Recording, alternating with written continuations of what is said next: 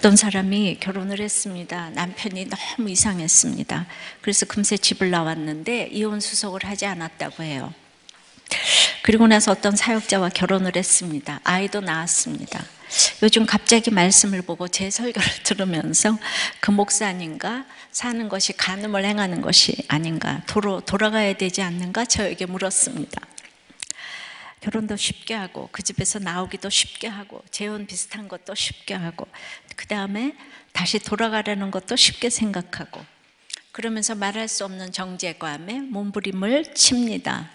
누가 속은 자입니까? 속인 자입니까? 속았다고 하면서 어, 속입니다. 우리는 이처럼 끊임없이 속고 속이는 일을 겪으며 살아갑니다. 이스라엘 백성들도 기부원 거민들에게 속아서 화친을 맺었습니다. 가나안의 어떤 족속과도 화친을 맺지 말라고 하셨는데 여수와도 속임수에 넘어가 하나님의 명령을 어긴 것입니다.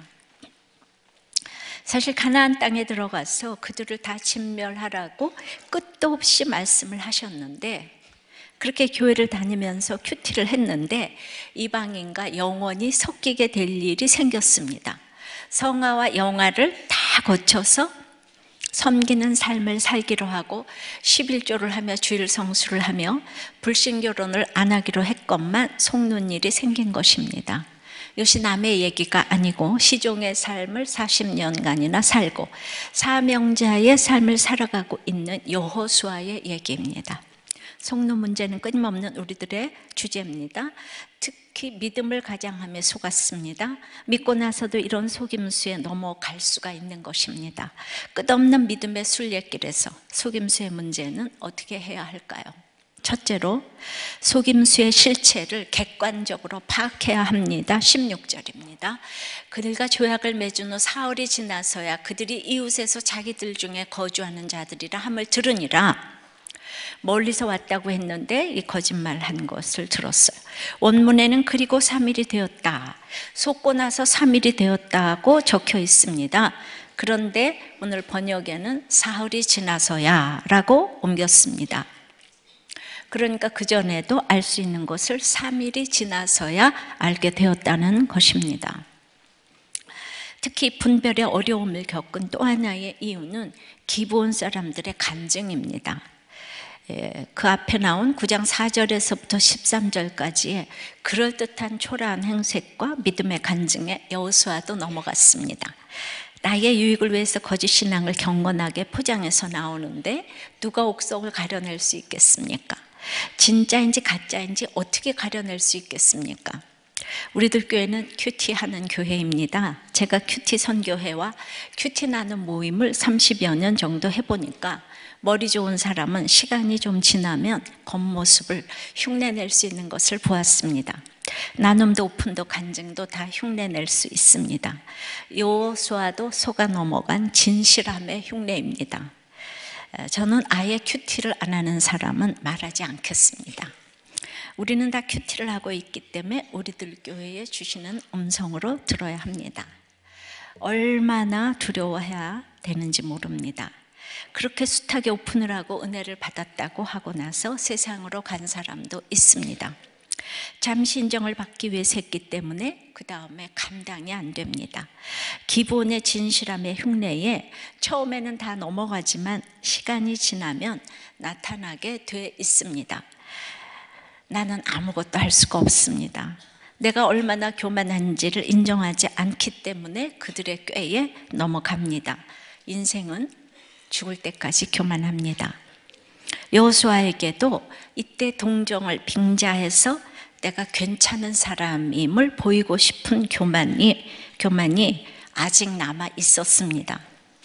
이것은 아간의 그 외투움치는 탐심하고는 또 다른 교만입니다. 끊임없이 순간마다 내가 하나님이고자 하는 그 우리이기 때문에 내가 그 무서운 여리고를 이겼는데 또 아이를 다 아이성 싸움을 다 이겼는데 하고 갑자기 관대해집니다. 깨어있지 못합니다. 배가 부르고 등이 따셔졌기 때문입니다. 그것이 무의식적인 교만입니다. 동정과 사랑을 구별하지 못하는 것은 내가 영적인 분별력이 무뎌졌기 때문입니다. 근데 3일이 지나서 기본의, 기본의 정체가 다 드러났습니다. 속임수에 속임수는 언젠가 다 드러나게 돼 있습니다. 모를 때는 가만히 있으면 중간은 갑니다. 나 문제는 속는 사람은 나입니다. 나를 속인 사람을 미워하기보다 내가 얼마나 속임을 잘 당하는 사람인지 나 자신의 실체를 알아야 합니다. 그래야 나도 살고 그들도 살릴 수 있습니다. 장세기 3장에서 사단은 선악을 알게 하는 나무 실과를 먹으면 하나님, 같이 되리라고 거짓말을 했습니다. 스스로 돈을 만들 수 있고 사랑을 만들 수 있고 건강을 만들 수 있다고 네가 하나님 같이 될 수 있다고 꼬입니다. 하와는 처음에 그것이 거짓말인지를 몰랐습니다. 어, 자, 20복을 헌금하면 암이 낫는다고 어, 헌금했다가 속았다는 간증을 들었습니다. 또 1억 5천을 헌금하면 남편이 승진할 것이라고 하니 헌금하다가 오신 분, 오신 목자님도 있습니다. 어떻게 이렇게 속일 수 있을까 하지만은, 예, 사역자 중에서도 얼마 내면 뭐가 된다고 그래서 근데 그 속고 싶은 마음이 너무 들더라고. 예, 또 그런 얘기도 아, 들었습니다. 참 의외로 많이 속는다는 것을 알았습니다. 사단이 아주 집요하기 때문에 예, 이렇게 여호수아가 이쪽에서 너무나 승리를 하니까 사단도 부흥회를 합니다. 사단이 총 골기를 해서 자꾸 속아 넘어가게 만듭니다. 그리고 그 결과로 인류의 죄악이 시작되고 하나님과 분리된 삶을 살게 되었습니다. 우리는 속지 말아야 합니다. 한 사람이 속임수에 넘어간 결과가 이토록 엄청난 것입니다. 어저께 다 노시다가 지금 와서 주무시네요. 예. 내가 그렇게 토요일을 준비하라고 그랬는데 어저께는 다 명절이라서 모여서 놀다가 지금 고스터 받아 오셨어요? 하지만 우리도 돈에 속습니다. 돈이면 다 할 수 있다고 생각합니다. 교회도 돈이 있어야 대접받는다고 합니다. 정말 그렇습니까? 교회에 와서도 은혜로 베푸는 것이 아니라 인정받기 위해서 돈을 쓰는 것이라면 쓰는 자나 받는 자나 다 속임을 당하는 것입니다. 돈으로 할 수 있는 일이 많이 있지만 돈으로 할 수 없는 일이 얼마나 많은지도 알아야 합니다. 돈으로 책을 살 수는 있지만 지혜를 살 수는 없습니다. 돈으로 좋은 침대를 살 수는 있지만은 잠을 잘 수는 없습니다. 우리는 또 사랑에 속습니다. 다들 운명적인 사랑을 부르짖지만 백마탄 왕자와 공주를 기다리지만 이 세상에는 왕자도 공주도 없습니다. 아, 죄인이 있을 뿐입니다. 그리고 건강에 속습니다. 건강하면 행복할 것이라고요. 그래서 운동을 아무리 열심히 해도 또 우리의 건강은 우리가 지킬 수가 없습니다. 물론 건강의 축복은 무엇보다 소중합니다. 그러나 교도소에 가보십시오. 건강한 사람들이 다 와서 앉아 있습니다. 어, 건강도 나에게 행복을 가져다 주는 절대 조건은 아닙니다. 우리는 끊임없이 두려움에 속습니다. 그리고 내 봉사에 속고 헌신에 속고 내 사랑에도 속습니다.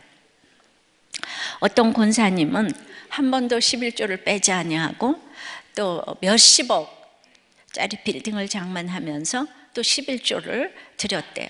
그런데 외아들이 갑자기 암으로 죽었습니다. 그리고 남편이 따라 죽었습니다.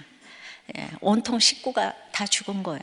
그러다 보니 건물에 대한 세금을 못 내서 그것이 연체가 되고 몇십억 하는 그 건물이 공매에 넘어가서 반값에 팔리게 되었습니다. 그 돈을 받아 임대 보증금 내주고 세금을 내고 나니까 길거리에 나앉게 생겼다고 합니다. 참 기가 막힌 상황입니다. 저한테 하시는 말씀이 내가 헌금을 얼마나 했는데 어제 이 마가복음 말씀처럼 어찌하여 나한테 이런 일이 오는가? 아들 죽고 나니까 며느리도 손자들 데리고 다 가버렸다. 딸들도 다 인류로 키워서 시집도 잘 갔는데 아무도 생활비 하나도 안 준다. 내가 세금을 못 내서 이렇게 안타까워하는데 세금 한 푼 안 내고 또 내가 지금까지 교회 낸 돈이 얼마인데 교회에서도 돈 하나도 안 주더라. 그래서 빚이 그렇게 많은데 건물을 빨리 처분하지 어떻게 그렇게 오래 그곳에 살게 계셔, 살고 계셨냐고 하니까 나는 거기서 1대, 2대, 3대, 4대 손자까지 장로를 시키고 싶으셨다고. 자, 말씀이 없이 이렇게 기복으로 헌금을 하니까 예, 근데 그때까지는 아들, 딸 승승장구하고 예, 건물도 나가는 것 같고 막 임대료도 받는 것 같고 안 된 일이 없으니까 이분은 11조가 복의 근원이에요. 예. 그런데 딱 이런 사건이 터지니까 승리를 못합니다. 어찌하여를 부르짖습니다. 예, 죽을 수도 망할 수도 있다는 생각을 죽어도 못합니다. 그러니 돈에 속은 것입니다. 자기 헌신에 속아, 속았어요. 자식 사랑에 속은 겁니다. 속이 상해서 어쩔 줄 모르시는 권사님에게 저는 그것은 집착과 기대에 속으신 것이라고 말씀을 드렸어요. 그래서 아, 그렇게 신앙생활 열심히 했는데 모든 식구들이 권사님 싫어하죠? 그랬더니 어떻게 그렇게 잘하냐고. 그래서 안 도와주는 것도 자식이 안 돌아보는 것도 다 권사님 삶의 결론이라고. 예. 너무 대단하니까 그 권사한테 아무도 말하는 사람이 없었어요. 그래도 저는 이렇게 11조 하셔서 망한 거라고. 그래서 인생이 헛된 것임을 이 땅을 떠나기 전에 알게 해주셔서 하나님 자체를 찾게 해주시는 사건이 아닌가. 그 우연히도 저를 한번 그래도 만났으니까. 그랬더니 예, 이게 삶의 결론이라고 했더니 굉장히 서운해 하시는 것이 아니라 이런 말 처음 들어봤다 그러면서 아주 처음으로 시원하다고 하셨어요. 여러분들 잘 될 거야 보다도 정확한 처방을 내려줬을 때 시원해 하는 분들이 얼마나 많은지 몰라요. 자, 또 내 확신에 속습니다. 결혼 3년차 주부로 상담한 적이 있습니다. 대학 대학교 때 같은 학과 CC 커플로 만나서 사랑하게 되고 그리고 6개월간 인간의 방법으로 동거까지 해보고 남편이 자기만 위해서 살 것 같은 확신으로 결혼을 했는데 결혼하고 나서 어, 지옥 같은 생활이 시작됐습니다. 남편이 갑자기 회사를 그만두고 무슨 공부를 하겠다고 입시학원에 다니기 시작했습니다. 남편이 너무도 하고 싶어 하는 일이라서 열심히 돈 벌면서 뒷바라지를 했는데, 어, 일이 힘들었는지 두 번이나 유산을 했습니다. 그리고도 과로가 겹쳐서 이제 난소암에 걸리고 말았어요. 난소암 판정을 받고 1년 동안 직장에서 받은 퇴직금으로 항암 치료를 했습니다. 그런데 그 돈으로 남편은 여전히 입시 학원에 다녔대요. 1년을 치료하다가 이래서는 안 되겠다는 생각에 부인이 다시 직장에 나갔습니다. 그제서야 남편도 안 되겠다고 생각했는지 공부를 포기하고 이제 직장 생활을 시작했습니다. 항암 치료가 잘 돼서 아기도 나올 수 있다고 생각했습니다. 그렇게 이제 행복이 시작된 줄 알고 있었는데 회사를 다니기 시작한 남편이 외도를 시작했다는 거 아닙니까? 그렇게 사랑하는 사람하고 동거까지 해보고 결혼을 했는데 3년 동안 이 많은 일들을 겪었습니다. 돈에 속고 사랑에 속고 건강에 속고 내 확신에 다 속았습니다. 결혼하기 전에는 콩깍지가 씌어서 보이지 않습니다. 우리가 어떻게 알겠습니까? 어떻게 속지 않겠습니까? 그러나 속인 사람을 욕하기 전에 내가 얼마나 속기 쉬운 사람인지를 알아야 합니다. 속임수의 정체를 객관적으로 알아야 합니다. 속임수의 정체는 나의 기대와 욕심입니다. 내가 얼마나 돈을 좋아하고 사랑을 좋아하고 건강을 탐하다가 속임수에 넘어갔는지 나의 실체를 깨달으라는 것입니다. 적용해 보세요. 돈, 사랑, 건강, 두려움, 내가 하는 봉사와 헌신, 내 확신, 어떤 것에 쉽게 속고 있습니까? 그것을 다 내가 좋아하니까 거기에 속는 거예요. 나의 집착과 기대가, 나의 집착과 기대가 속임수의 실체라는 것을 파악하고 있습니까? 17절입니다. 이스라엘 자손이 행군하여 셋째 날에 그들의 여러 성읍들에 이르렀으니 그들의 성읍들은 기본과 그비라와 부에롯과 기랏 여아림이라. 제3일에 여러 성읍에 이르렀습니다. 3일은 십자가진 같은 기다림의 시간이고 하나님께 묻고 기도하는 시간입니다. 그런데 오늘 보면 14절에 보면 여호수아가 하나님께 묻지 않았다고. 이스라엘 백성이 기본이 왔는데 그 속일 때 묻지 않았다는 얘기가 나와요. 하나님께 물으며 3일을 기다리지 않으면 6개월을 동거해봐도 알 수가 없습니다. 요새 모든 아, 그이 결혼은 다 동거해보고 한다. 이게 얼마나 쓰잘데없는 얘기인지 알아야 합니다. 결혼할 때 우리가 속지 말아야 할 것은 재산과 성품과 학력이 아닙니다. 그 사람이 진정 하나님을 믿는 사람인가에 대해 속지 말아야 합니다. 이탈리아 속담에 애정 때문에 결혼하는 사람은 분노 때문에 망한다고 했습니다. 나에게 잘해주는 것에 속아서 유순한 성품에 속아서 믿음을 뒤로 하면 안 됩니다. 또 교회만 다닌다고 전부가 아닙니다. 내가 평생을 함께 할 사람이 하나님 앞에 죄인이라는 것을 확실히 고백하는가 안 하는가를 봐야 합니다. 이 젊은 청년들이 자기가 죄인이라는 것을 아는 사람과 결혼하면 그것은 로또 맞은 것입니다. 그냥 교회 다니는 사람하고는 비교가 안 되는 로또입니다. 로또. 이거를 우리는 계속 question mark를 가지고 분간을 해야 합니다. 3일을 보내고 여러 성읍에 이르렀습니다. 인생의 여러 성읍. 장가를 가보고 시집을 가보고 회사를 가보니까 이부서 저부서 겪어보니까 속은 것을 알게 되었습니다. 굳은 일 슬픈 일을 겪으면서 하나님께 드리는 고백이 하나님께 드리는 고백이 확실하지 않은 사람은 돈도 속이고 학력도 속이고 재산도 속이고 다 속일 수밖에 없다는 사실을 여러분들은 알게 됩니다. 믿음 없는 사람이 속이는 것을 이상한 일로 여기시면 안 돼요. 이 세상은 악하고 음란하기 때문에 믿음이 없는 사람은 이해 타산에 따라서 뭐 쉽게 쉽게 속입니다. 그걸 이상한 일로 여기시면 안 돼요. 어떻게 속일 수가 있냐? 속이니까 결혼도 한 거예요. 예, 어떻게? 뭘 어떻게 해요? 예, 그래서 예, 속이지 않으면 결혼도 안 되는 거잖아요. 그죠? 당연합니다. 이왕이면 여러 성업에 이르러 보기 전에 알 수 있다면 좋겠죠. 그러나 내가 그 여러 장가 시집 여러 성업에 이르러 보지 않고 알 수 있는 방법이 이 땅에 있습니까? 내가 겪어보지 않고 어떻게 압니까? 예, 이 땅에는요, 그렇게 겪어보지 않고 알 수 있는 방법은 없어요. 절대로 없어요. 그러면 어떻게 알 수 있냐? 오직 하나님께 묻는 것밖에 없습니다. 예. 그 예수님을 믿는 우리에게 중요한 것은 믿음이기 때문에 알아볼 것은 믿음밖에 없습니다. 근데 우리가 이제 12년 된 우리들 교회가 큐티를 하면서 계속 물었잖아요. 묻고 오니까 진짜 12년 동안에 속았다는 얘기를 참 들어보기가 어렵습니다. 진짜 속았다는 얘기가 별로 없어요. 하나님께 물었기 때문입니다. 하나님께 묻는 것이 얼마나 중요한지 하나님은 우리들 교회를 통해서 증거하고 계세요. 아무리 많은 것을 갖춘 사람이라고 해도 믿음이 없으면 아무것도 아니라고 그래서 말할 수 있어야 합니다. 적용해 보세요. 무엇에 속았어요? 입시에 속았어요? 결혼에 속았어요? 직장에 속았습니까? 제일 무서운 건 내 성품에 속는 거예요. 내 성품 유순하다고 내가 괜찮은 사람인 줄 속아요. 아주 이거 무서운 겁니다. 회개는 뉴턴이라고 했어. 자기 성품에 반대로 하는 게 이게 회개예요. 속았다고 생각하는 그 일에 대해 얼마나 말씀을 붙잡고 기도했습니까? 자, 두 번째는 그래서 속았으면 어떡합니까? 속았더라도 원칙으로 돌아가서 맹세를 지켜야 합니다. 18절입니다.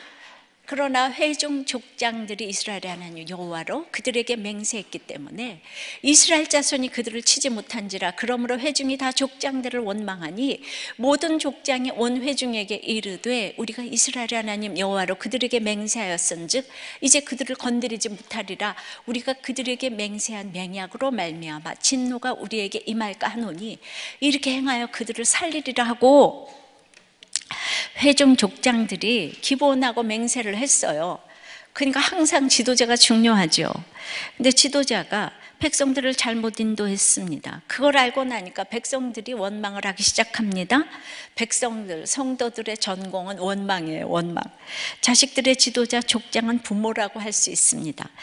저도 부모님의 주선으로 선을 보고 결혼했기 때문에 어, 힘들 때마다 부모님을 원망했습니다. 제 잘못은 하나도 없는 줄 알았어요. 하라고 하는 결혼을 했기 때문에 예, 돌아가신 아버지는 시집살이 때문에 힘들다고 하면 밥만 먹여줘도 감사하라고 내일에 서울대학 나와서 교만 해서 그렇다고 이 얘기밖에 안 하세요. 당시 아버님은 장로님이라도 이 말씀으로 좀 거듭나시기 전이었고 유교적 가르침만 주셨기 때문에 예, 위로가 되지는 않았어요. 어쨌든 그래도 아, 맹세를 지키라 이게 이제 원칙이잖아요. 지도자의 책임이 큽니다. 문제는 없다고 했어요. 문제 부모만 있습니다. 잘못된 배우자를 고르는 것도 부모님의 결론입니다. 부모가 분별력이 없이 키웠기 때문이고 부모가 삶으로 보여준 것이 없기 때문에 자녀가 그런 배우자를 골랐습니다. 그런데 대부분의 부모가 회개를 안 합니다. 야, 다 그만둬. 그 집에 그렇게 가난한 줄을 몰랐지? 학벌에 속고 다 속았는데 살긴 왜 살아? 당장 그만둬. 뭐라고? 여자가 있다고 속였구나. 이런 당장 그만둬. 하면서 이혼을 부추깁니다. 속았다는 것을 알았을 때 지도자가 할 일은 예, 살리려면 맹세를 지키는 것밖에 길이 없습니다. 어떻게 맹세를 지키게 하나요? 내가 잘못했다. 내가 깨어있지 못해서 이런 일이 왔다. 하지만 하나님께 맹세했기 때문에 맹세는 꼭 지켜야 하는 거야. 돈을 못 벌어도 결혼 약속은 무조건 지켜야 하는 거야. 이렇게 나와야 합니다. 하나님의 이름으로 맹세를 해놓고 내 유익 때문에 그것을 어기면 안 됩니다. 나에게 아무리 손해가 오더라도 무조건 지켜야 합니다. 속았다는 걸 알고서도 정신 못 차리고 뒷수습을 못하면 진노가 우리에게 아, 임한다고 했습니다. 속임을 당한 나의 욕심에 대해 세상 방법으로 쫓아내고 갈라서고 하면 더 큰 진노가 임한다는 것입니다. 이제부터라도 하나님이 책임져 주시라고 믿고 하나님만 의지하면 됩니다.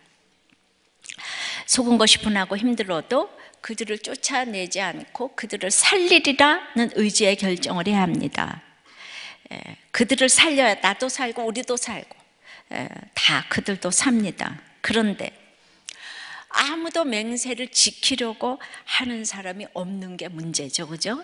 그러니까 말씀을 깨달은 내가 제일 먼저 맹세를 지키고자 하는 것이 주님의 뜻이고 살리는 길이에요. 맹세를 지키는 사람이 그 집의 지도자예요. 정말 자식이건 뭐 누구건 먼저 맹세를 지키고자 하는 사람이 참으로 있다면 그 집은 수지 맞은 집안입니다. 아무리 잘못된 결혼을 했어도 중한 실수를 했어도 외도를 하고 자식이 집을 나가도 그들을 탓하시면 안 돼요. 원망은 핑계에 불과합니다. 원망은 자신 없는 사람이 하는 것입니다. 원망만 하고 있으면 다 같이 죽습니다. 어떤 문제를 당해도 맹세를 지키면 됩니다. 아무리 잘못된 배우자, 자녀, 부모라도 버릴 수는 없는 것입니다. 그것은 우리가 지켜야 할 맹세의 관계이기 때문입니다. 심지어 딸이 이 어린 딸이 가출한다고 때려서 죽인 독일 유학파의 목사 부부가 검거되었습니다. 11개월이나 시신을 방치하고 주님이 살려주실 것을 믿었다고 더욱더 엽기적인 참그 아, 정말 기독교를 폄하시키는 아, 그런 기도를 했다는 그 부모의 사건입니다. 참으로 이 사건으로 기독교는 또 땅에 떨어지는 역할을 했습니다. 부모는 자식이 너무나도 절대적인 관계에 있는데 이렇게 목사요, 박사요, 교수요, 또 담임 목사에게까지 한 이 목사님이 자식이 자식이 가출한다고 어, 때려서 죽이는 시대에 우리가 살고 있습니다. 그러니까 목사라도 신앙 고백이 없을 수가 있는 거예요. 그러니까 내가 속았다. 어떻게 목사가 그럴 수가 있느냐? 그러니까 여러분들은 하나님께 물어야 돼요. 우리는 분별할 수 없어요. 외모만 보고 알 수가 없어요. 그러니까 우리는 큐티를 해야 돼. 말씀 묵상을 해야 합니다. 적용해 보세요. 바람 피운 남편, 가출하는 자녀, 돈으로 피해를 입힌 형제에게 내가 지켜야 할 맹세는 어떤 것입니까? 믿는 자로서 지도자로서 부모로서 속은 사람에게 어떤 처방을 하십니까? 안 보고 살면 그만이다. 호적을 파가라. 원망하면서 진노의 글로 가고 있지는 않습니까? 결혼 반대하면서 호적을 파가라. 너하고 나하고 인연을 끊자. 믿으면서도 그런 얘기를 합니다. 21절입니다. 무리에게 이르되 그들을 살리라 하니 족장들이 그들에게 이른 대로 그들이 온 회중을 위하여 나무를 패며 물을 깃는 자가 되었더라. 기본 사람들이 자기 죄를 알고 스스로 나무를 패며 물 깃는 자가 되었습니다. 아, 믿는 자에 속해서 살게 됐습니다. 그런데 예수님을 믿게 되어서 이제 내가 아, 이 고난으로 예수님을 믿게 됐어요. 그리고 맹세를 지키고자 해도 현실은 주애를 한다고 해도 나무 패고 물 깃는 것은 너무 초라해 보입니다. 내가 결혼을 했는데 예, 이제 남편이 속였어도 받아들이고자 해도 나의 기본 남편이 너무 초라해 보여서 인정하기가 너무 어렵습니다. 돈을 못 벌어서 무시가 됩니다. 예수님을 믿어도 누구는 저렇게 초혼직이 또 다른 교회는 장로까지 하고 있는데 내 남편은 평생 가야 성도도 못 되는 것 같고 돈이 없어서 인정도 못 받는 것 같고 아, 그런 역할을 해야 하는 나의 기부원을 기부원을 택한 거는 바로 여러분인 거예요. 근데 그 기본을 받아들일 수가 없다고 악을 쓰고 욕하고 억울함을 호소해도 그래서 그렇다고 기본을 쫓아내야 합니까? 무시가 되어서 쫓아내어야 합니까? 사무엘하 말씀에 보면 사울이 이스라엘과 유다 족속을 위한 열심으로 이 기본을 용서, 용서할 수가 없다고 이것들이 속이고 들어왔다 그러면서 사울 왕이 기본 사람들 다 죽여버렸어요. 기억나시죠? 뭐가 또 기억나겠어요? 우리가 사무엘의 21장 얼마 전에 한 설교인데 그 결과 이스라엘의 3년의 기근이 왔습니다. 그 일에 대해서 봐요 맹세를 지켜야 되는 거예요. 맹세를 어기고 자 저런 기부원은 잘라버려 이혼해버려 자 딸도 다 죽여버려 이거하고 똑같잖아요 그죠?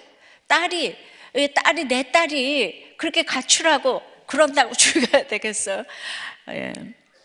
그런데 그 일에 대해서 사울 집안의 첩 리스바가 살아남아서 맹세를 지키고자 했고 다윗이 이 리스바의 소식을 듣고 감동하여서 사울과 요나단의 장사를 치러준 후에야 기근이 끝났습니다. 6개월 동안 공동 묘지에서 이 그냥 매를 쫓으면서 회개했어요. 리스바가 3년의 기근을 겪고 사울 집안에 7명이 죽고 나서야 그때서야 아 기부원은 같이 가야 되는 사람이구나. 를 성경에서 깨닫게 하셨어요.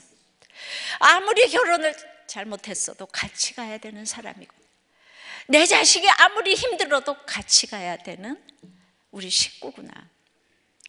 예, 여러분은 그렇게 이, 이 땅에서 가족으로 묶여진 것은 우리가 버릴 수 없는 우리의 십자가인 거예요. 십자가를 버리려고 하면 끝에까지 영광은 없어요.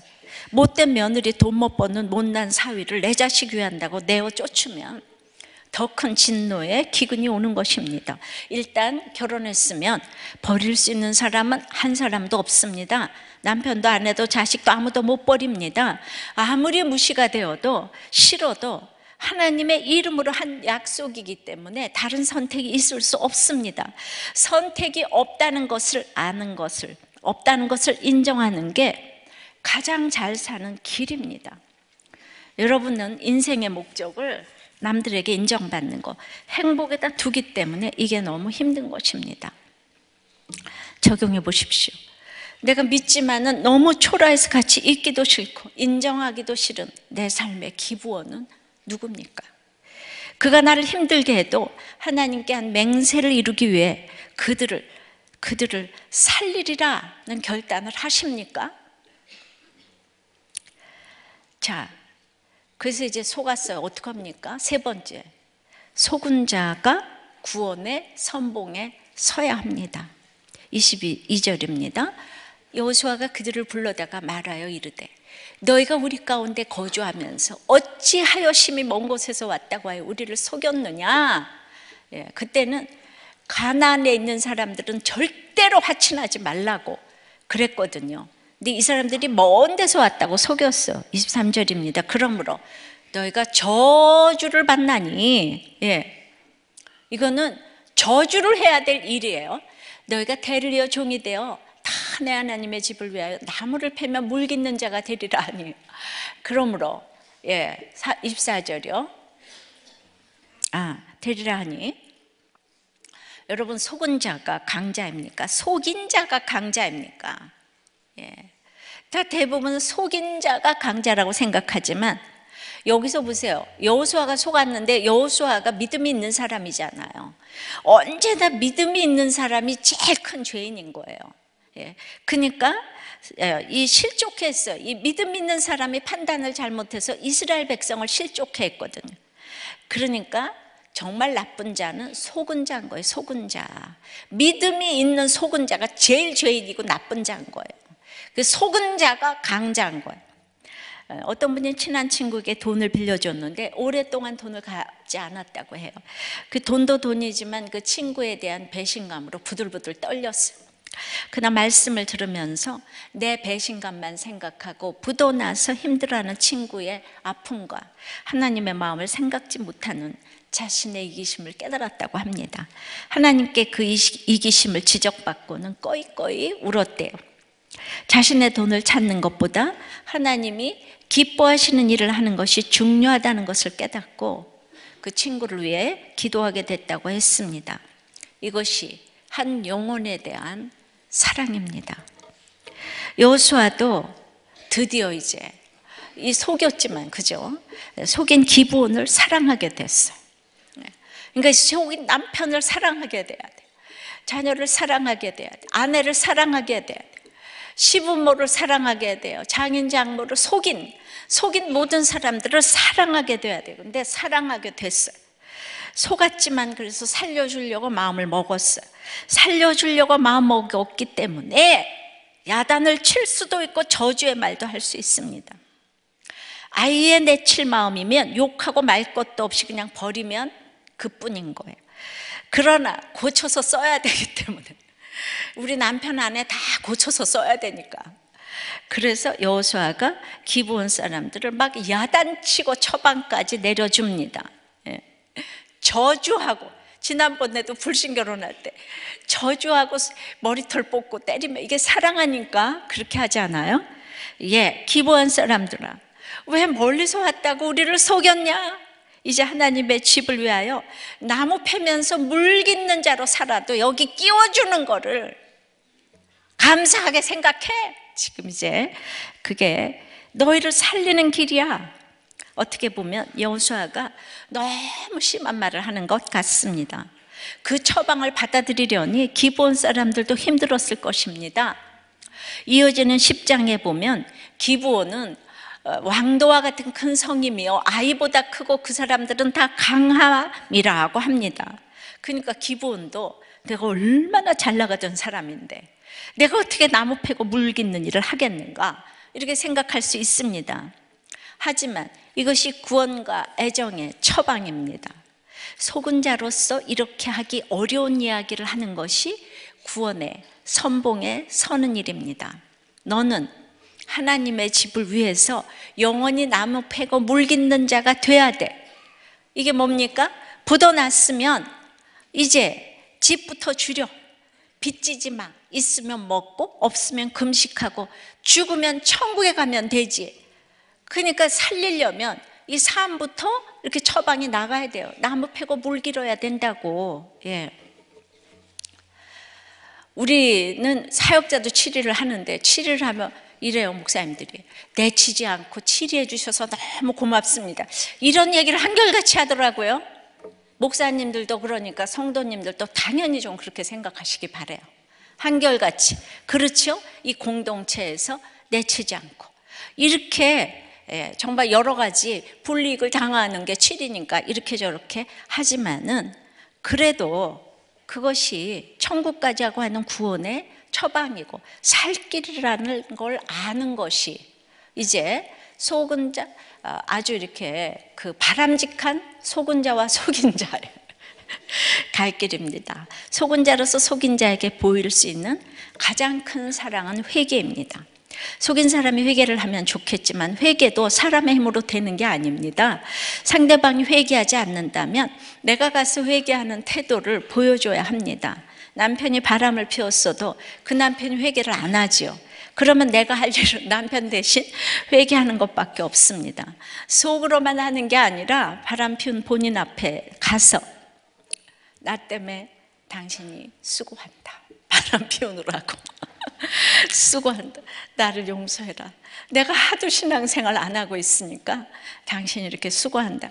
아유, 오죽하면 당신 바람을 피겠는가. 나 같은 거하고 사라져서 너무 고맙다. 이렇게 이제 성령이 주시는 마음으로 진심으로 그렇게 말해 보십시오. 예, 그것이 구원의 선봉에 서는 길입니다. 그런데 핸드폰 조사하고 흥신소에 부탁을 하고 당신이 그럴 수 있냐? 네가 인간이냐? 따져보면 그래 나 인간 아니다 어쩔래?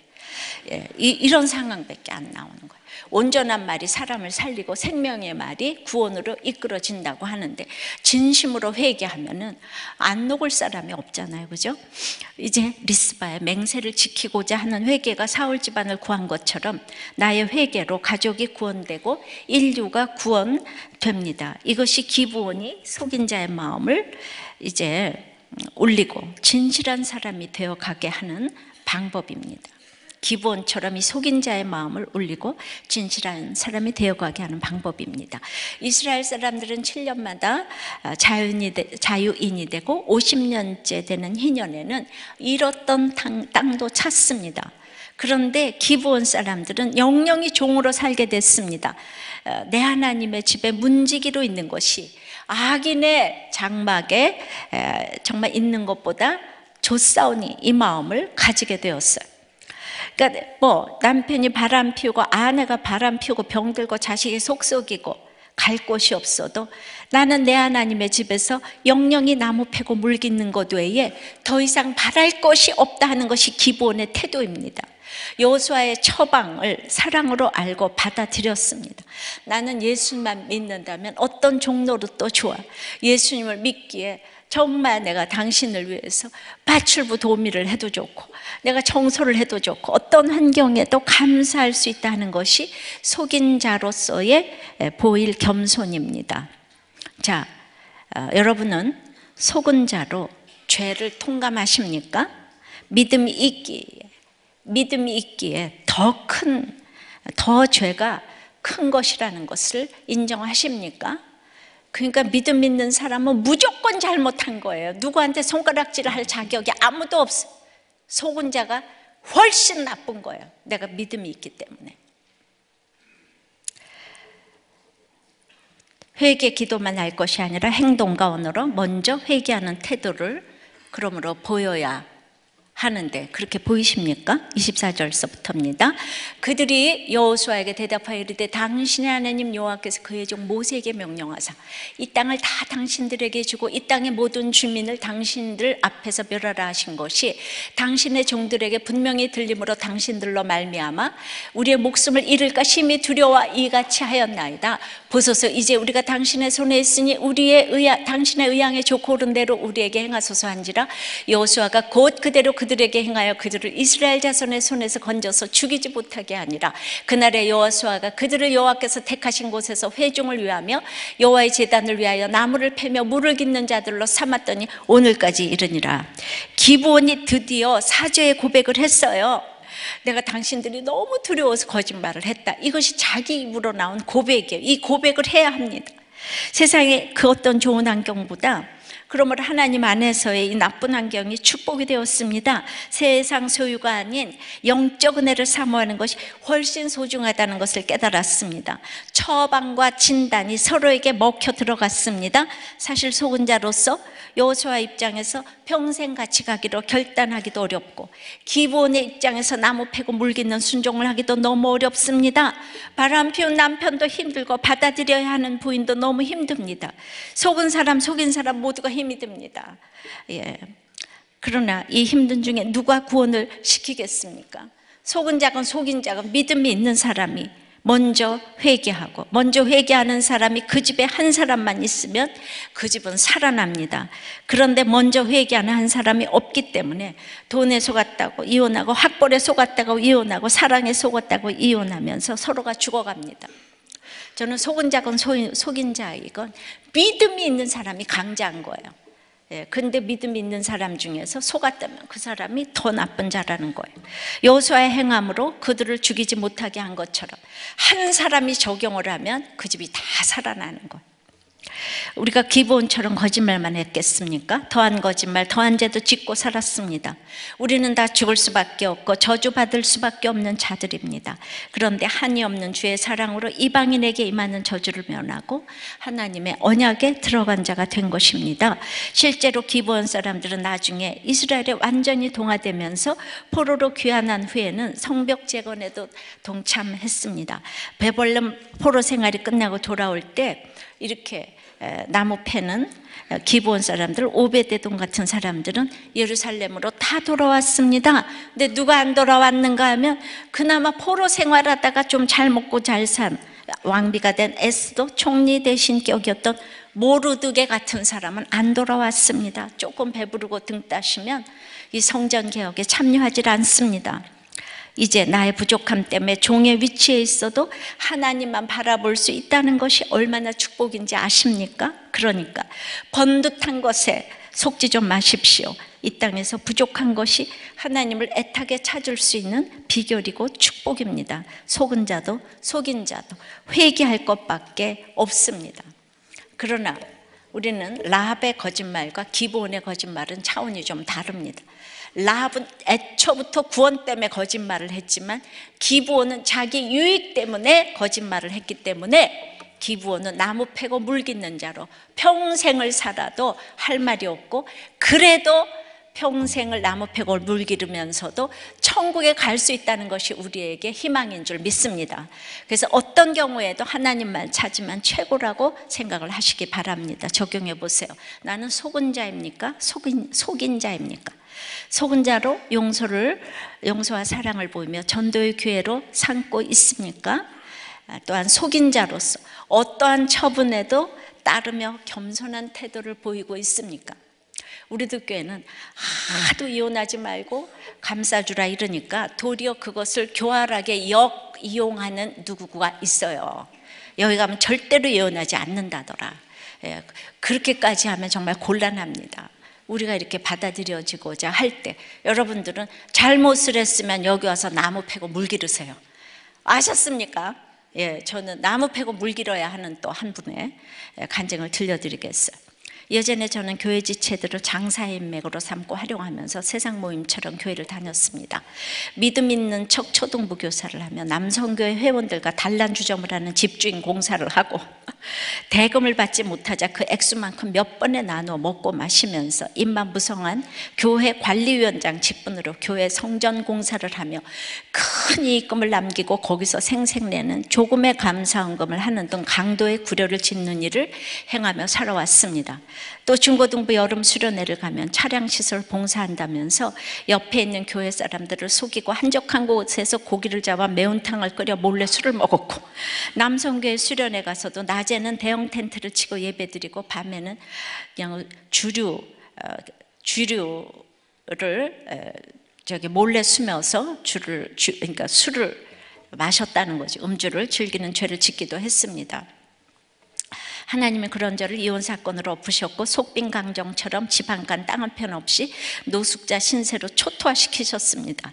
내가 진실로 너에게 이르노니 라고 말씀하신 것처럼 제가 믿음이 있고 의심치 아니했으면 또 믿고 기도했으면 다 이루어 주셨을 것인데 지금껏 제안을 아까움과 술과 담배로 가득 채우고 살아왔음을 고백하며 회개합니다.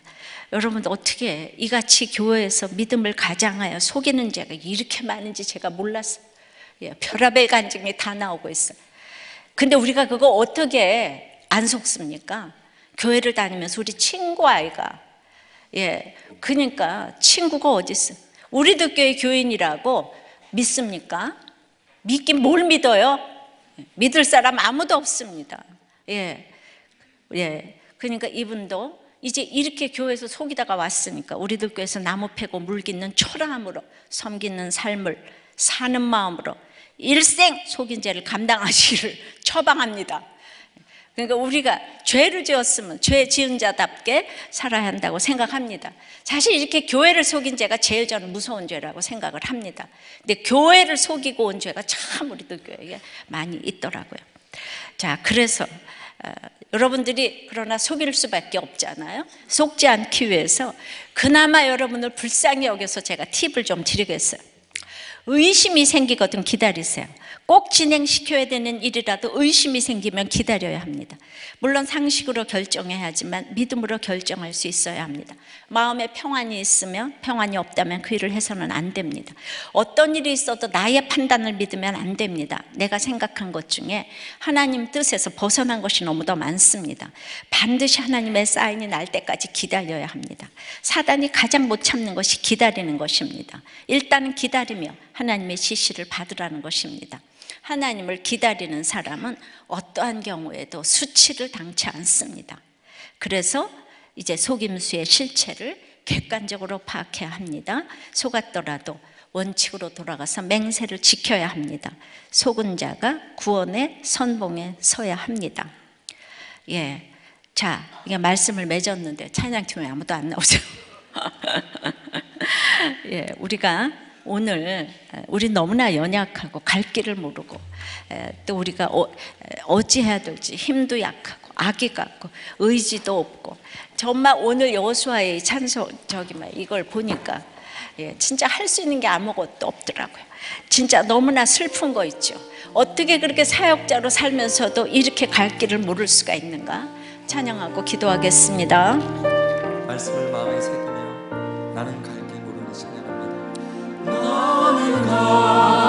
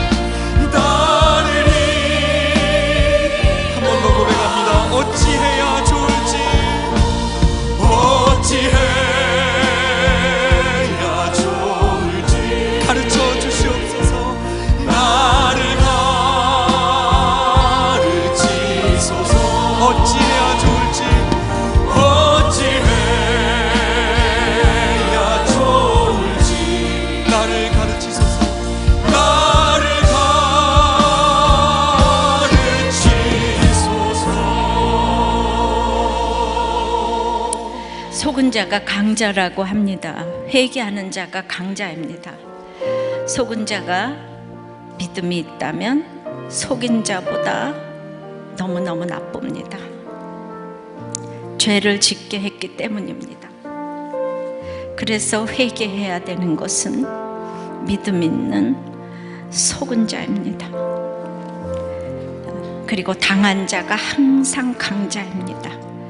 용서해 줄 위치에 있기 때문입니다. 참으로 우리가 그러나 속은 자, 속인 자 다 너무나 슬픕니다. 너무나 연약합니다. 우리는 창근 넘어집니다. 갈 길을 모르고 그래서 주님 인도해 주시옵소서. 주님께 묻는 것밖에 길이 없다고 합니다. 주님께 물으면 어떤 일을 당해도 수치를 당치 않는다고 합니다. 주님께 묻기를 원합니다. 평생 묻기를 원합니다. 주님 내가 아무것도 모르니 아이같이 모르니 평생 하나님께 말씀 묵상하며 묻고 나가는 우리가 될 수 있도록 주님 도와주시옵소서 다 같이 기도하겠습니다. 아버지 하나님 끊임없는 속임과 속임수의 실체에 대해서 아버지 하나님 이제 파악하고 속았, 속았더라도 이제 맹세를 지키고 속았더라도 구원의 선봉에 서야 된다는 것을 너무 알고 있다고 생각을 했습니다. 속임수의 실체를 이렇게 어느 정도 파악한 것 같은데 그런데 이제 가장 안 되는 것이 내 자신의 헌신과 그 사랑에 속습니다. 전 이제 누구보다도 주님과 맹세를 한 사이인데 그것을 지키기가 너무 힘들어서 슬픕니다. 선봉의 선자로 너무나도 자신이 없습니다. 이제쯤은 자신이 넘치고 승리의 소식만 전해야 하는데 아직도 무서워서 기본처럼 속이고 여호수아처럼 속습니다. 나무 패고 물깃는 초라함으로 살고자 하지만 그것이 또 안 됩니다. 그래서 마음이 심히 슬픕니다. 나를 위로해 주시기를 기도합니다. 갈 길을 아는 것 같은데 잘 모르겠습니다. 어찌해야 좋을지 잘 모르겠습니다. 왜 이것밖에 안 되는지 힘도 없고 너무나도 약합니다. 주여 여호수아의 고백을 보며 여호수아도 이럴 수밖에 없다는 것을 보며 위로가 또 되지만 주님 불쌍히 여겨 주시고 넘어지는 나를 붙잡아 주시옵시고 긍휼을 구합니다. 참으로 도와주시옵소서. 우리 가운데 속은 자 속인 자로 너무나도 슬픈 아버지 하나님과 환경이 있다면 이번 명절에 속은 자로 가서 용서해 줄 위치에서 구원의 선봉에 서는 명절이 될 수 있도록 회개의 고백을 할 수 있도록 각자 집안마다 역사하여 주시옵소서. 참으로 내가 내 죄를 보는 것이 가장 강자라고 하오니 내가 얼마나 죄인인가 깨닫고 그렇게 구원의 역사가 일어나는 집집마다 될 수 있도록 역사하여 주시옵소서. 우리 구주 예수 그리스도 이름으로 기도하옵나이다. 아멘.